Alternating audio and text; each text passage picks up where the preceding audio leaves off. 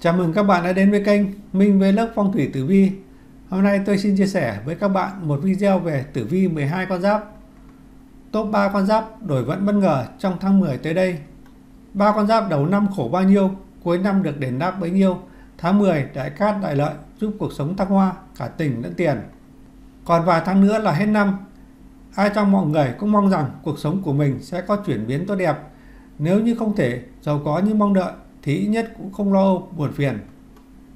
Trong năm kỷ hợi 2019 này có nhiều con giáp được trời ban nhiều phước lành. Đặc biệt từ tháng 10 trở đi, cuộc sống của ba con giáp sau đây sẽ có chuyển biến bất ngờ. Thời gian trước khó khăn thế nào không biết, nhưng từ giai đoạn này trở đi, ba con giáp sau sẽ được thần tài, quý nhân chiếu cố nồng hậu. Mọi khó khăn vất vả bao lâu nay đều được đền đáp xứng đáng. Cuối năm, cuộc sống viên mãn đang chờ đón trước mắt.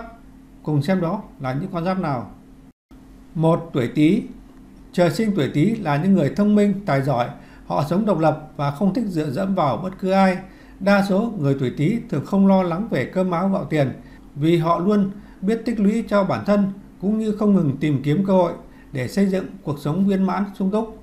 Tử vi học có nói trong năm kỳ hội 2019 này, cuộc sống tuổi Tý sẽ có những chuyển biến bất ngờ, không phải vào đầu năm hay giữa năm mà là vào 3 tháng cuối năm vận may của người tuổi Tý sẽ lội ngược dòng một cách ngoạn mục. Người tuổi Tý vốn tài giỏi, chỉ cần thiên thời địa lợi nhân hòa đã có thể giúp họ đổi vận.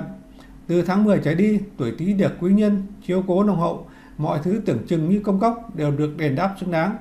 Dự kiến trước khi bước qua năm 2020, tuổi Tý sẽ xây dựng sự nghiệp ổn định, vững chắc, giúp cuộc sống sau này thoải mái dư giả. Nếu như may mắn hơn, hậu vận chỉ cần an nhàn, hưởng phước con cái, không lo âu, muộn phiền bất cứ điều gì. 2. Tuổi hợi Trời sinh những người tuổi hợi vốn sống tình cảm nhân hậu, luôn dĩ hòa vi quý với tất cả mọi người, nên xung quanh họ luôn có quý nhân phù trợ, làm việc gì cũng không lo lắng, là không có ai ở bên mình. Đa số những người tuổi hợi đều được trời ban phước lành, họ có thể không quá giàu có nhưng lại được mọi người hết mực yêu thương, đường đời có trong gai vấp ngã cũng có người đỡ đần. Tử vi học có nói trong năm kỷ hợi 2019 này, tuổi hợi sẽ gặp nhiều may mắn, ai khổ thì khổ nhưng từ tháng 10 trở đi, cuộc sống tuổi hợi sẽ có khởi sắc bất ngờ. Từ sự nghiệp, nhân duyên đến tài vận đều viên mãn, đầy đủ. Đặc biệt đối với người kinh doanh làm ăn, những tháng cuối năm này sẽ gặp được đối tác tiềm năng giúp họ có thành công mỹ mãn, không như thế còn đem đến nhiều tài lộc cho gia đình. Trước khi bước qua năm 2020, tuổi hợi sẽ kiếm được số tiền kha khá, dư giả để sống đến vài năm sau. 3. Tuổi thân Trời sinh những người tuổi thân hiền lành chăm chỉ, luôn biết cố gắng trong mọi hoàn cảnh. Dù họ không sinh ra trong gia đình sung túc, nhưng vẫn luôn cố gắng không ngừng để tạo dựng cho mình một cuộc sống đầy đủ.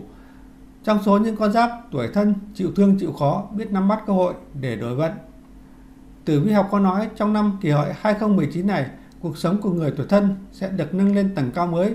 Đối với những người không phải rơi vào sao xấu thì cuộc sống sẽ có bước chuyển biến tích cực. Đặc biệt từ tháng 10 trở đi, tuổi thân cần chuẩn bị tinh thần đón hỷ sự.